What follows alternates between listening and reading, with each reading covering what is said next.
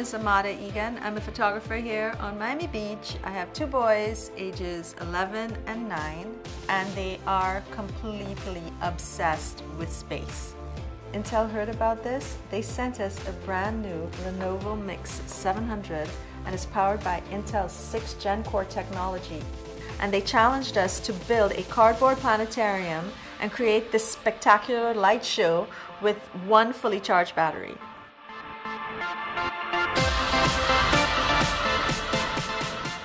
Okay guys, this is what we're building. Yeah.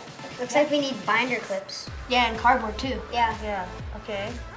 It should be cut into rectangles and different- Triangles, you see the Yeah. dimensions there? Mm-hmm. Okay, yeah. awesome.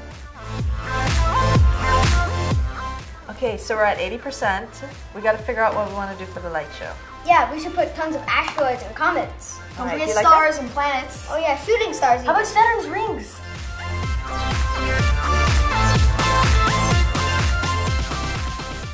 We're at 61%. 61%. Yeah, okay, so Let's start building. yeah, let's start building.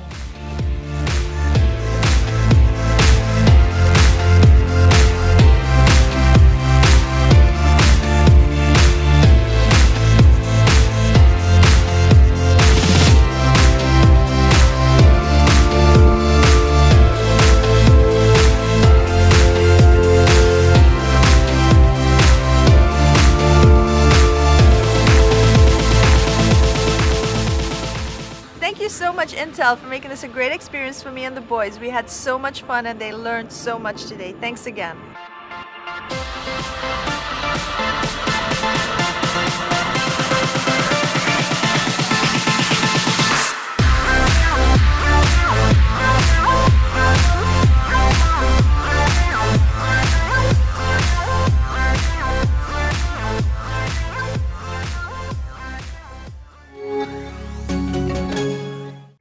Working with these guys, Jeff and Mauricio, because it's different when you work with professionals.